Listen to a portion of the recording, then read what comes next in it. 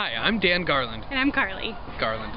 And we are going to the Paul Tripp Marriage Conference on May 4th and 5th because our friends are going, and we are very excited to fellowship with other single people who want to know more about marriage and other newlyweds and people who are also married.